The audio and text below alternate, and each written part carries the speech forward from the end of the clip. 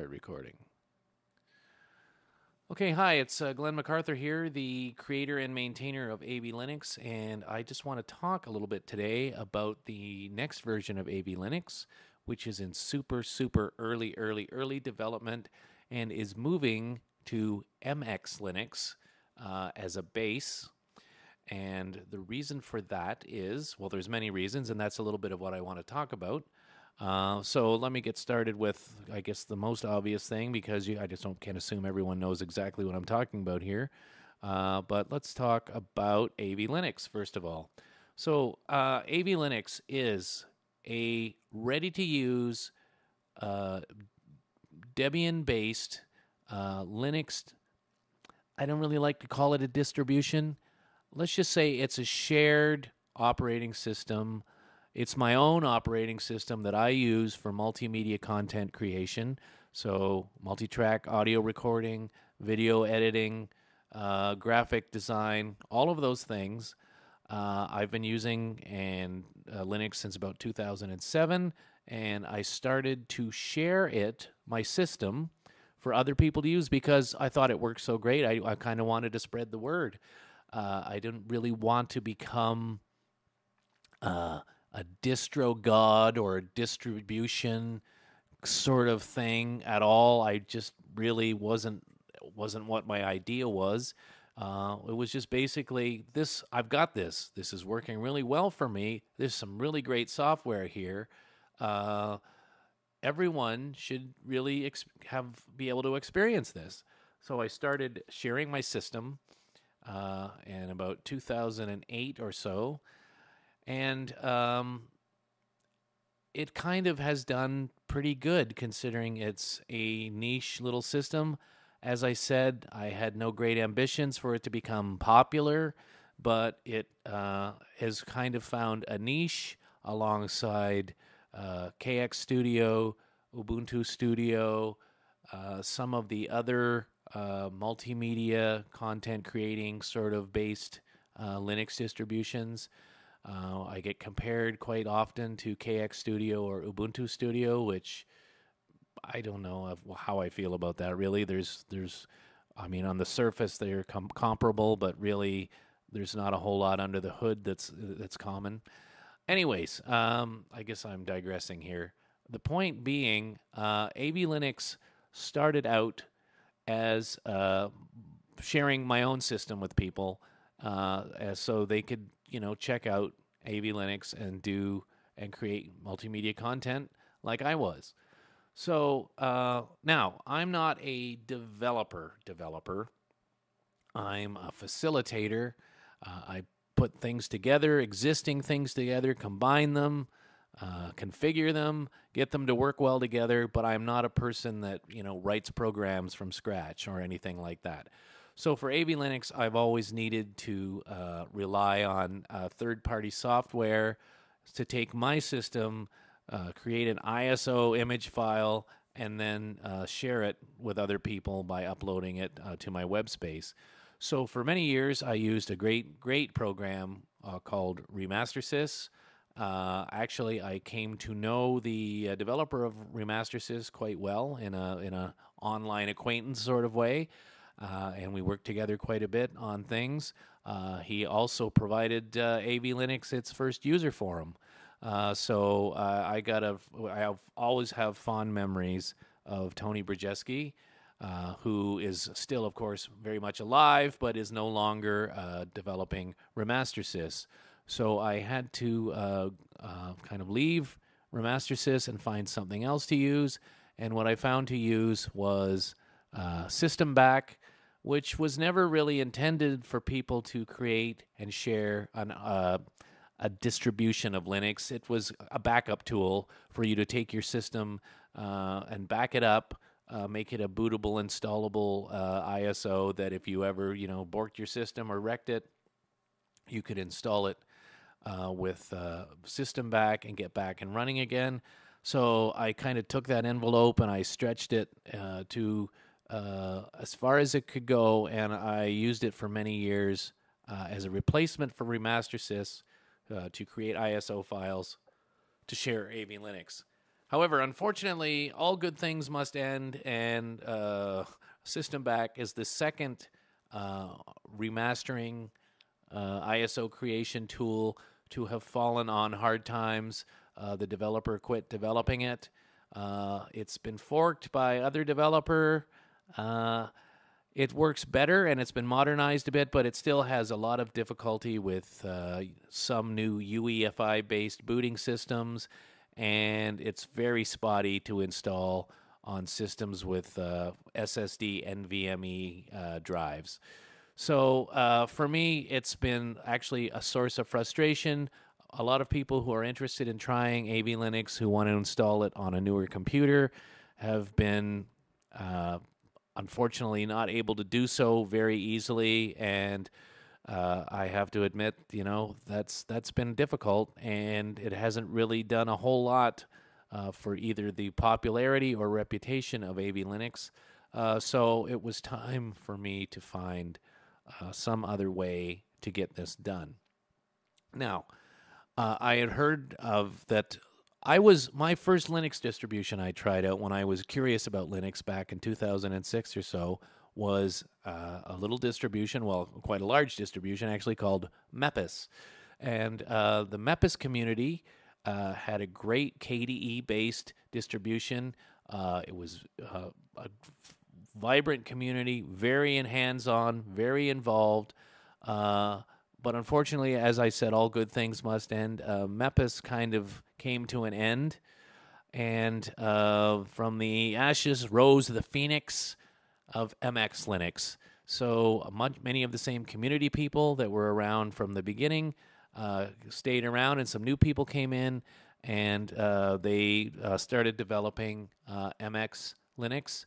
Which, if you know anything about using Linux, in the Linux world, uh, you'll know that on distrowatch.com, which is sort of the uh, uh, the Billboard top 100 of Linux distributions. well, let's just go over and have a look at distrowatch.com and see what they're saying about MX Linux.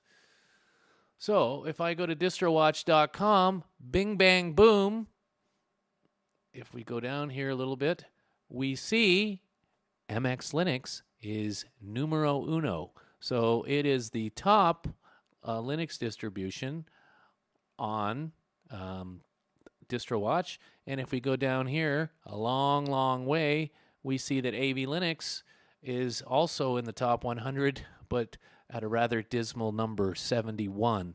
Not that I keep track very often, that's the first time I've checked in a while, but I'm kind of amazed that I'm still even in there. But uh, so MX Linux is the number one distribution, and I'll, I'm going to tell you why it's number one. It's not number one because it's the flashiest. It's not number one because it's anything sort of uh, temporary or flash in the pan about it. It's number one because it's basically grounded on a grassroots community, a lot of user, uh, uh, a lot of user input, uh, an amazing development team that has taken the core of Debian Linux and added so many great and complementary uh, tools. Uh, well, actually, let's just have a look here at their MX uh, MX tools. Okay, these are all uh, kind of extra utilities that come uh, in MX Linux. And if you're the kind of person that's going to be doing a lot of uh, if you are kind of new to Linux, you'll find that you know Debian Linux has all the major stuff covered for you, but there's just some little utilities that are missing, especially in uh, a, a, kind of a less featureful desktop environment like XFCE4, which is what MX and AV Linux both use. Uh, so we see here that there are a whole host of MX tools. So we're talking about MX being number one. Uh, I, I, would say one reason is uh, because they have a great community and because they've have all these great tools uh, that make Linux even easier to use, especially for new users. But I would also have to say it's because it's just they employ common sense. It's not all about jumping for trends or any of that kind of stuff. It's about making the system work well, making it stable, helping it to work for as many people as possible, uh, all that kind of stuff. So I, I cannot say enough good about MX Linux.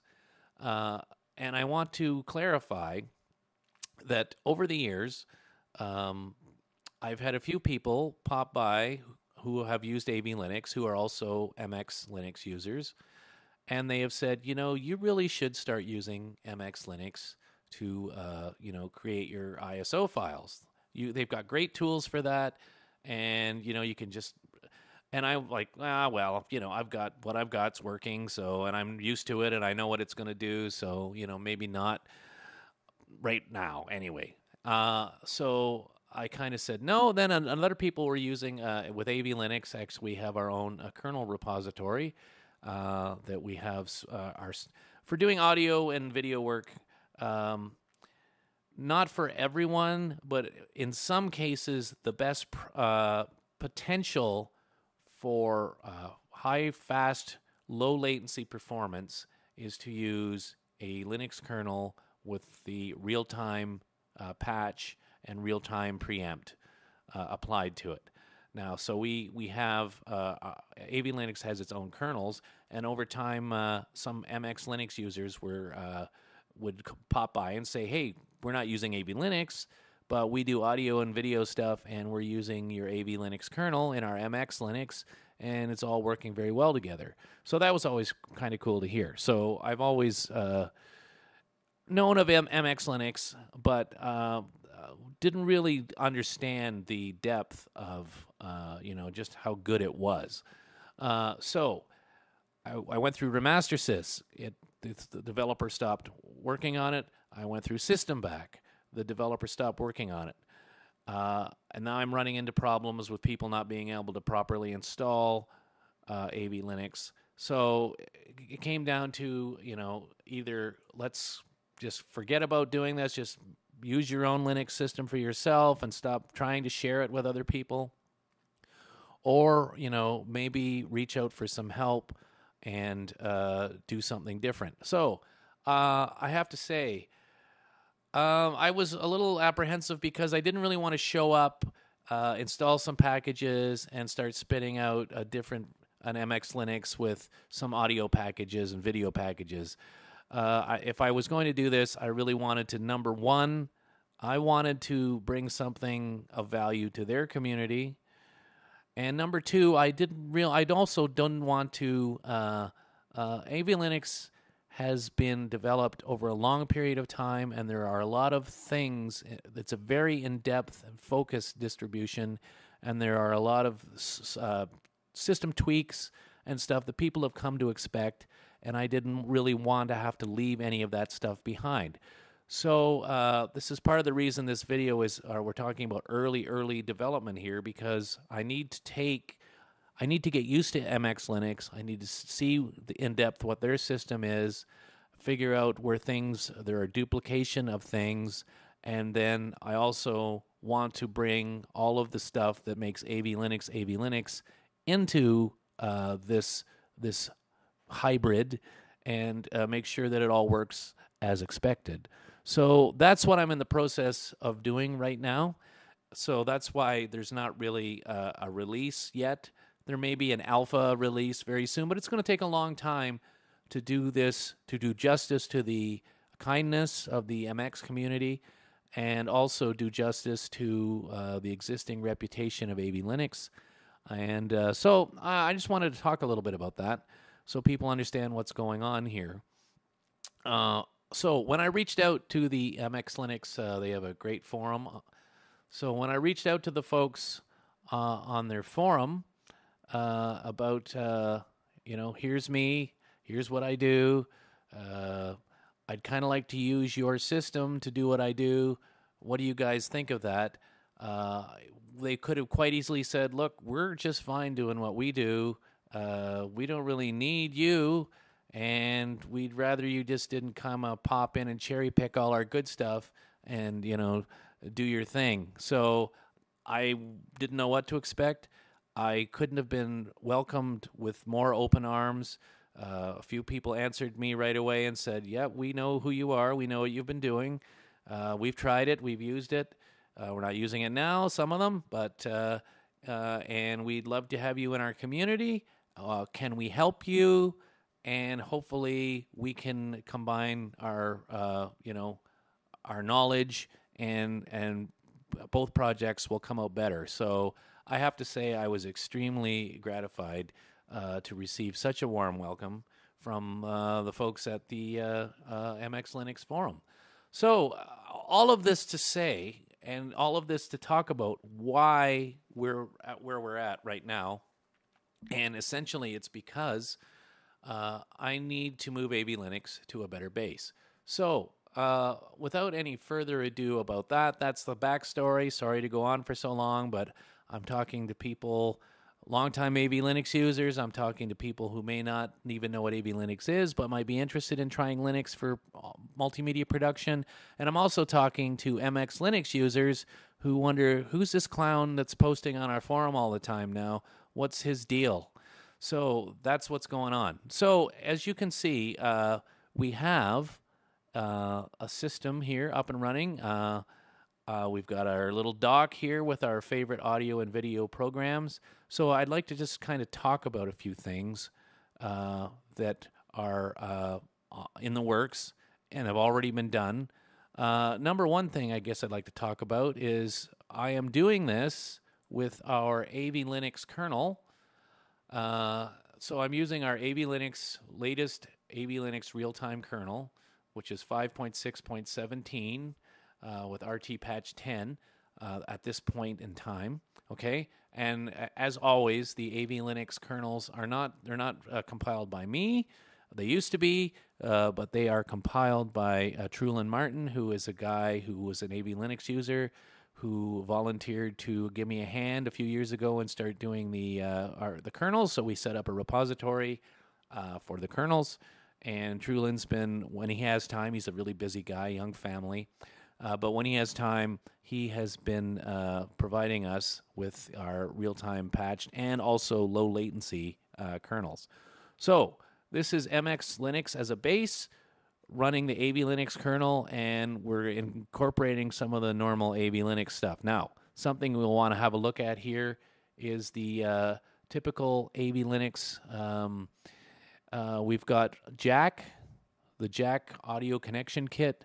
Uh, we have Pulse Audio, uh, Jack Audio Connection Kit, ALSA, all working together. Uh, so as you can see, we're running my uh, we're running Jack right now. My uh, Studio Live AR8 is uh, is what's running in Jack, but we also have um, Pulse Audio's Jack source and sink. So we have Pulse Audio plumbed in and out coming in and out. So, what's this mean? Well, why do I would I care about that? Uh, you would care about that because you can be running your audio device with Jack and still do all your normal desktop stuff, and Pulse Audio will seamlessly uh, pipe in and pipe out of Jack. So if you want to open your web browser and you know watch a YouTube video, uh, you can do that without anything complaining any of the audio apps complaining that they're using the sound card and you can't have it right now. Uh, also, you can uh, um, uh, you can um, run a music player. Uh, you can basically run anything on the on the system using sound, and it's all going to work together, and nothing's going to complain that the audio device is busy. Uh, and that is uh, set up by default. let me let me go here to the setup uh, in AV Linux, uh, we have a we make use of uh, Pulse Audio Jack Connect script. Uh, that that script is developed by Hermann Meyer, who is of the um, the developer of Guitarix, uh, which is a guitar amp simulation program that people play guitars through on Linux. So, um, oh, what did I do here?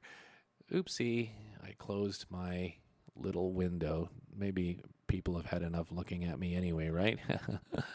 Maybe not, though. What did I do? What did I do? I can't find myself. Oh, there it is. Okay, so, um, so we make use of uh, the PA Jack Connect script. Uh, that uh, we start our we select our audio device. So here, as you can see, uh, a lot of people think Jack is very complicated, but I don't know anyone who's been using a computer, whether it's with with Windows or or uh, OS X or anything, and you're doing you know multimedia work where you have maybe a different an outside piece of sound hardware where you don't have to at some point select that piece of hardware to be used by the operating system. And that's really all you need to do with jack. I really don't understand people are you know there's ranting and raving and the wails of the damned all over the internet about how difficult jack is to use and i remember when i was a windows user and I was wanting to record and I was using outboard gear, I would have to use you know the ASIO uh, driver uh, setup uh, in Cubase to find the audio device I wanted to use. So that's all we're doing here. So we have selected uh, my, I have a, a, a, PreSonus Studio Live AR8 mixer, and it's selected here. Uh, and this is what Jack is using and running through. So all of this to say, um, it doesn't need to really be difficult uh, to use uh, Jack Audio Connection Kit in AV Linux. There's no extra third party tools. I mean, I know KX Studio has their own tools, Cadence, and all that kind of stuff. Those are great and they work great, but we're doing pretty much the same thing here, uh, simply using the tools that have always been associated with uh, using Jack. Uh, Rui uh, Nuno Capela's uh, Jack audio connection kit QJack control uh, is the name of the program, or QJack CTL, I guess. Um, anyway, that's been around forever since I started using Linux. So with AV Linux, we're just we have a you start your system, you select the sound card you want to use, and then all your audio, I don't care if it's ALSA or Pulse Audio, and all your MIDI, whether it's Jack MIDI or ALSA MIDI, are all automatically routed for you. So uh, that is one kind of difference uh, from AV Linux uh, to MX Linux. MX Linux isn't really set up with Jack at all. It's available and it can be used. You can install it, but if you don't know how to configure it, I just want to point out that's one thing uh, that's all set up, ready to use in AV Linux, always has been, and will continue to be in the MX edition. Now, while we're talking about uh, hybrid stuff here, um, I'm I've done some work on the AV Linux uh, assistant. Uh, it's called now called the AVL MXE assistant. Now, you know this is this is nowhere near the uh, you know finish fit and finish of the MX tools, but it's a control panel to just do some common tasks and make things easier for beginners that you may not do. So uh, here we have uh, I've I've I've put the uh, CPU governor. If we're doing audio and video work in Linux, you want to be using the performance governor on your CPU. Uh, so NAV Linux is actually set up by default to use the the governor, performance governor. Pardon me. Uh, so I've added that functionality to the control panel. Uh, you can go in and you can set uh, um, what did I? I guess I didn't close it, did I? Well, aren't you a silly boy? Okay, sorry, I needed to close that. Um, now you can use uh, if um, this is just a shortcut to the XFCE for uh, startup utility because for audio and video stuff, you may not want to have every possible daemon running and every possible application auto starting and running.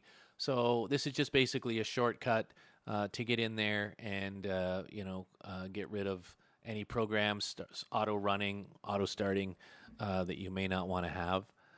Uh, okay, we're gonna close that. Um, uh, this is just simply if you've got a hung or a stuck program and you don't really know what to do about it and you don't want to you can't control alt delete or whatever uh, this is just basically a little shortcut to use xkill which you just hover over whatever program isn't working and click, oh, and then I just killed the program I was using. So that's what that's for. Um, restart Pulse Audio, that's really hardly ever needed, but sometimes the Pulse Audio jack, uh, source, and sink clients can be a little sticky, especially maybe on fir- the first run. So this kind of just cycles Pulse Audio on and starts it up again, and hopefully we'll get the get the uh, sink and source uh, clients running if they aren't already. Uh, this is simply a one button.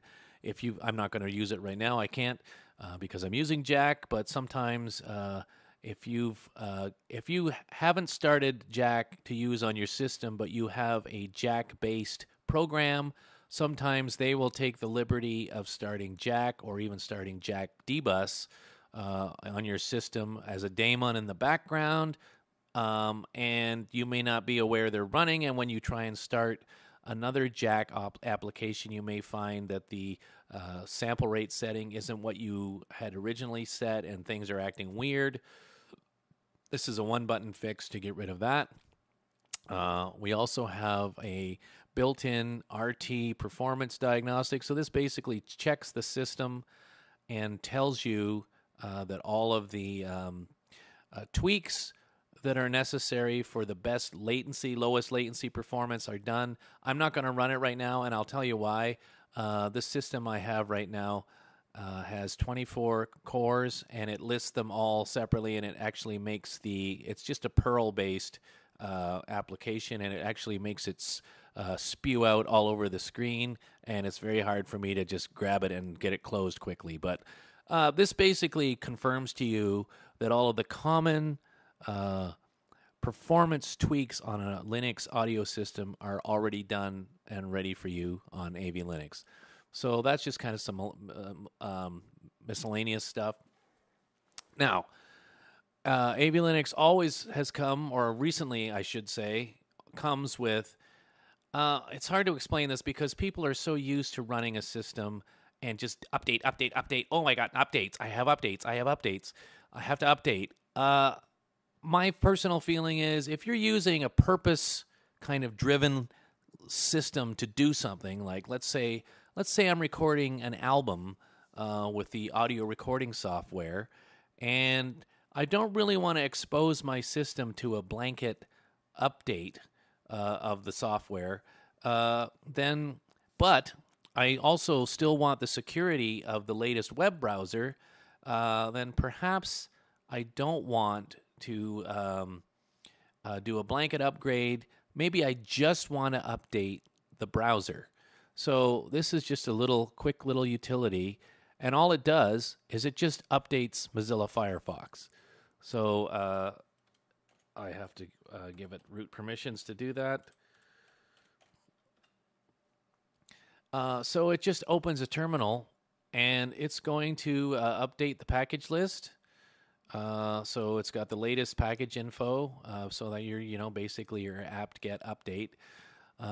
Then it's going to see if there is uh, an update for Firefox. Now, if we see here, Firefox is already the newest version, so we're good. So we're so our system you know, we're not undermining anything by doing a risky blanket update when we're actually in the middle of working on something, but we're also don't have a stale web browser with security issues.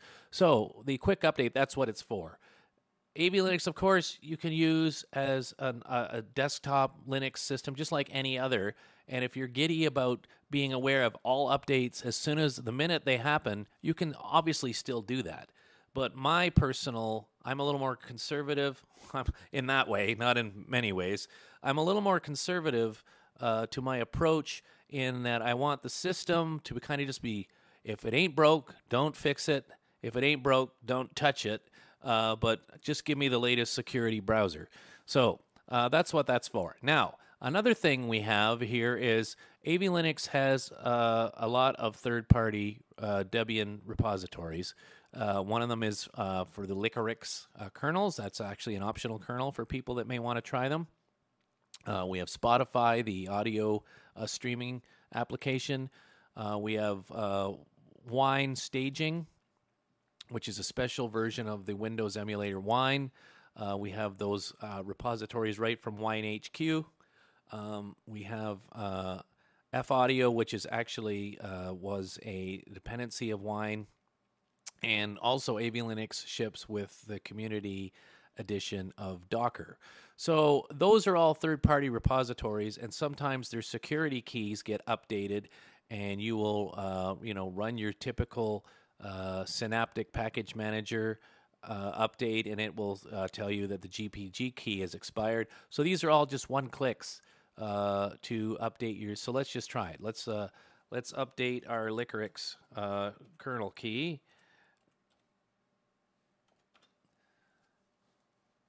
And so we're going to see it simply it's just going to go uh, to the Liquorix site and it's going to update the, the, the latest GPG key. Now, MX has a tool for this, and I'm not exactly haven't used much. I haven't used it a whole lot yet, so I don't know exactly where these overlap. But this is just something that AV Linux users are used to, and it's just a quick one button. I, I want I want to uh, want a quick update, but I want a specific thing updated, and I don't want to um, mess with the whole system. That's the that's the uh, kind of uh, rationale behind that. Now we have a new tab here on the assistant because AV Linux makes use of Wine, and we make use of Wine uh, to run primarily uh, because there are a wealth of uh, VST Windows VST audio plugins, and most of them run quite well in Linux using Wine. So that's done in a various uh, uh, with a various set of tools. We're using uh, wine staging. Uh, we're also using a independent project called uh, LinVST, which was uh, a, a, guy who has done. oh, we're getting into more depth here than I wanted for this video. Basically, LinVST takes Windows VST audio plugins and makes them appear as Linux audio plugins. So your host, like Ardour or Qtractor or Harrison Mixbus, whatever you may be using, Reaper, etc., etc., can see. Uh, you can run a Linux native version of your host, but the Windows plugins will appear as Linux native plugins and can be used that way. So LinVST has uh, some uh, some setups that it requires. So we've kind of got a quick button that lets you access that. Uh, otherwise, that's nothing that really comes in LinVST as an obvious kind of menu item. So if you don't know how to use it, you basically have to type these commands in the terminal. So I've just kind of made some easy buttons in order to do it. Uh, and this also covers uh, whether you have your Windows VSTs, uh, excuse me, in your home folder or whether you have them outside of your home folder in a system folder so you can run linvst uh, setup utility as, as your regular user or you can run it as root. Uh, now, and we also have uh, Wine ASIO. That is also a, a, Windows. Windows has a, a, a ASIO sort of, I guess, um, it's not a format, but for as an audio standard, I guess, an audio driver standard. Uh, Windows uses ASIO. Uh, so if we're wanting to use a Windows application that requires an ASIO driver, but we're using Linux and Jack, this is where Wine ASIO comes in, and it makes your Wine ASIO uh, uh, Windows application accessible and connectable to the uh, Jack Audio Connection Kit. So uh, I've also incorporated uh, kind of just two two click on buttons. Uh, now I've got an updated version of Wine, so it's going to actually do that. So let's just cancel that for now. Um, uh, so it needs to get that out of the way only because it was a first run here. So uh, it basically starts the DLL, the Wine ASIO DLL. So that's just basically a quick and dirty uh, way to get that up and running, which also is not an obvious kind of launcher menu item on a system. So we kind of, you know, it's all about making things more convenient so people uh, who aren't so used to using a terminal or aren't so used to, uh, you know, just typing things in uh, can just click a button and have it work as they would expect on any other operating system. Uh, so that is kind of a new tab in the AVL MXE Assistant. And then we have here um, a sys editor. Now, basically, this is just a quick and dirty way. If you are administrating your Linux audio system or your Linux, sorry, your Linux desktop system, sometimes you need to get into the configuration files that are hidden in the system folders of the system. Uh, so this is basically just making that easy for you to do. So once again, we have to type in the uh, password, root password. And this is basically going to open uh, the package. Uh, so the, the, the sources.list file is basically uh, where the additional repositories that AV Linux is using are located in an organized, easy to read fashion. And if you need to make a change to that, if you want to disable one of them or, or, or update the information, then you can certainly just go click on the syseditor part of the uh, AVL MXE Assistant. And instead of having to find that deep hidden system file to configure, you just click on it and it's easy. It's right there. You do what you need to do and you save it and close it. Um, so some of the common things people might want to change are their grub settings. Actually, I'm not going to open them all. Uh, perhaps you want your just global keyboard settings to be set.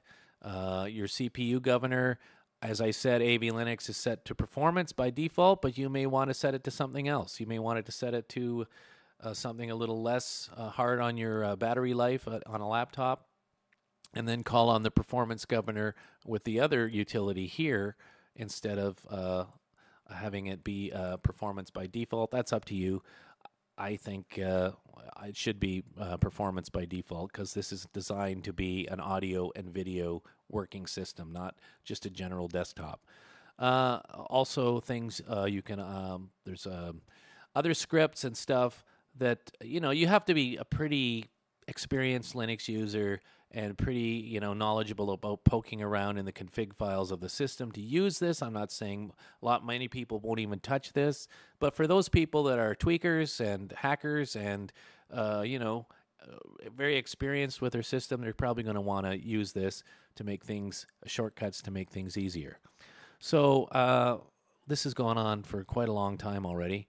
Uh, so in summary, I guess I just want to talk about very quickly. I'm not going to launch all the programs and do an in depth demo. We, would be here all day, and I don't have, uh, there's not a lot of stuff here set up ready to go. But let's just go through the multimedia menu very quickly because this is what AV Linux is about. It's a multimedia distribution. Uh, so, uh, you have Ardour, the digital audio workstation. We will be shipping with whatever the latest version is. Uh, when AV Linux uh, MX Edition is released, it will be the most recent version of Ardour, and it will be the Ardour bundle uh, from the Ardour website. It's not going to be some sort of package. Uh, Ardour's developers only support their own bundled software uh, that they, they've specially prepared. So we're not going to have a you know third party package of Ardour. It's going to be their official. So you can go to the Ardour forum, ask for help, and you will know that you have a, supported version of Ardour uh, to get help with if you need it. Uh, we could Asunder CD Ripper, Audacity, of course, for uh, you know your basic sound file editor. Uh, something that doesn't come in very many uh, distributions that comes in AV Linux is Avidemux which is a great uh, for making video cuts, uh, lossless video cutting. It's great for that kind of stuff. Uh, quick conversions from one video format to another, that sort of thing. Uh, we have the Calf plugin pack for Jack, which is a set of audio plugins. It comes with a Jack host. I don't really know why. I don't ever use it. Uh, I use the plugins uh, within Ardour or Harrison Mixbus. Uh, I never use them on their own with this Jack host, but it, they come that way. Uh, we have Sin Cinelerra, uh, Cinelerra GG, which is the uh, newest, most uh, actively developed fork of the Cinelerra video editor. Cinelerra is a great video editor. It's probably the longest uh, lived video editor in Linux, and it's probably the most hated and the most uh, most loved all at the same time. It has a lot of bad history as far as uh, different forks and different developers and people shitting on each other's projects. But we have uh, in AV Linux, we use Cinelerra, the latest fork, the most actively developed fork, um, and it is. I can't even begin to tell you how vastly improved Cinelerra GG is uh, versus versus its uh, uh, it, its previous uh, versions and other forks. Uh, FFADO mixer that is for FireWire devices, but I don't even know if that's worth uh, having in anymore because uh, most of them are. This is for the old uh, FireWire drivers, FFADO FireWire drivers. It's not for uh, using them with ALSA, new ALSA drivers. Uh, Geonkick is for making, uh, basically making um, electronic drum sets for electronic EDM type of music. we have Guitarix, as I mentioned, which is a, a guitar amplifier. Um, application. You plug your guitar in, and Guitarix emulates uh, basically all of the, the greatest uh, circuitry of uh, the most common uh, guitar amplifiers, and you can process the sound right through your computer. You don't have to have an amp. You just plug into your computer, and Guitarix looks after things.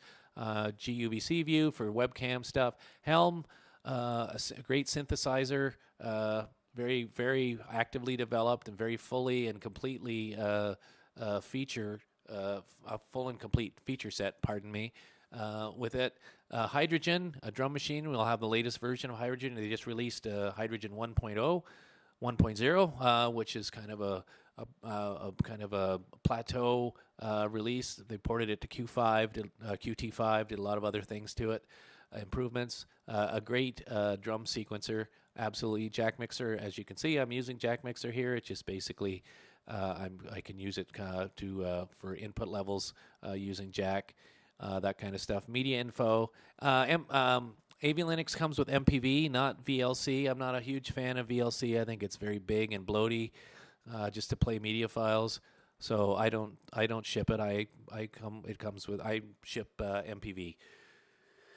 I'm sorry, my uh, I'm getting ahead of myself here. Uh, so Olive uh, Video is a Olive is a new uh, open source video editor. It's still alpha, but it's very simple, very stable, and very pretty lightweight for a video editor. Uh, I think it's showing a lot of promise. I don't know. I'm kind of messing with it right now. I like. Uh, I've always liked um, to have. Uh, I've always liked to have. sorry, I lost my webcam. I don't know where it went. Do I care really? I don't really care that much. Um, it closed for some reason, I guess. Uh, so where were we? Back to the menu again. Um, so uh, Olive, yeah, Olive. Uh, I don't know if it'll be in the actual release, but I'm just kind of looking at it, taking a good look at it right now. Polyphone also is an external application. It's not. It's not in. Uh, um, the Debian repositories. Uh, neither uh, neither are some of these other things here actually, but uh, Polyphone is a sound font editor. Also, you can edit and create sound fonts or SFC uh, sound libraries. Uh, so that's something. Uh, Pulse Audio. these are mixer controls for ALSA Mixer, the QAS. Um, they can support your uh, hardware, maybe give you a little better uh, idea of your. Uh, well, let's open this HCL, one. So this is my um, uh, captured channel map for uh, what I'm using here right now uh, for my PreSonus Studio Live. sometimes these sorts of things are not quite so well laid out in a, the basic terminal version of ALSA Mixer. So I'm trying this out as maybe a little better uh, especially for external USB audio devices, as a little better kind of um, uh, graphical mixing uh, utility. Um, so that's that. Uh, so we have QjackCtl. I call it Q Jack Control. I maybe that's not what it's called, but that seems to be what it does. So that's what I call it. Uh, that's what we're using to basically be our graphical thing to get Jack set up and working. setBfree is a great Hammond organ uh, emulation. Uh, simple screen recorder we're doing our screencast with. Uh, Sitala is a fairly new drum sampler. You can take your own samples and drop it in it. Uh, use it to make uh, drum sounds. you know, probably you could make any sort of music with it, but probably more geared towards EDM, that sort of thing. Uh, Spotify, of course, the Spotify client for Linux to play, use, stream Spotify content. Um, uh, Yoshimi, uh, another uh, uh, synthesizer, uh, basically based on ZynAddSubFX, which, as you can see underneath, Yoshimi and ZynAddSubFX Linux are kind of sort of I don't know. There's a little bit of competition going on. They're kind of they're they're based on the same basic synthesizer, adding features and stuff. I'm not a synthesizer guy. I'm not a developer on either team. I provide them both because people seem to like both. Uh, I don't have a dog in this fight, so I don't know which one is a good one and which one isn't a good one. Okay, so that is the on uh, multimedia stuff. Now, uh, as you can see, uh, just quickly, another huge difference uh, AV Linux has versus uh, other um, uh, distributions, either a regular vanilla desktop, uh, desktop distribution or things like Ubuntu Studio and KXStudio don't have nearly the specialized file manager custom actions built in like AV Linux does. So we, we have administrator friendly stuff. Uh, open a terminal here, open a root terminal here, open the current folder as root, all that kind of, all those goodies. Uh, we have a utility here to find large files and folders. Uh, we have two utilities here. If you have your own uh, audio samples and want to create a sound library for Hydrogen, the Hydrogen drum machine, uh, we have a utility built right into the Thunar file manager that can help you do that. And we also have uh, SFZ sound library. Um, which is also uh, it's kind of an open source, open f- format, similar to SoundFont.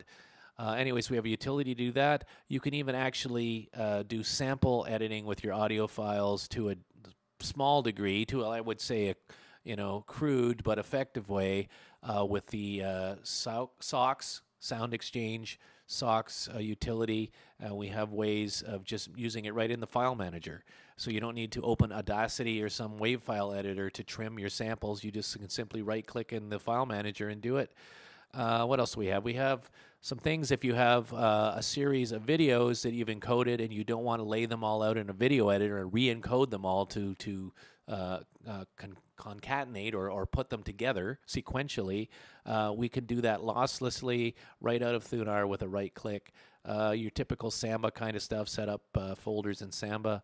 That sort of thing. There are more things, but I think I'll, maybe we'll do another screencast that gets into that stuff in a more detailed uh, sort of way in the future. So, um, yeah, so uh, basically, there you have it.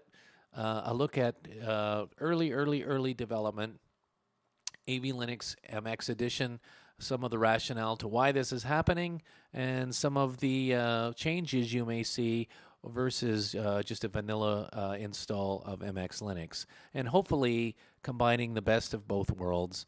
Uh, we'll see how it goes. Uh, anyways, uh, thanks for listening. And if you've been interested, I hope uh, that answers any questions you might have. And if you haven't been interested, I hope by now you've gone and watched something else that is of more interest to you. So we'll talk to you soon. Going to have some more information, some more in depth looks at some of these programs and stuff in the near future. But for now, that's it. So Glen MacArthur from AV Linux. See you later. Take care. Bye.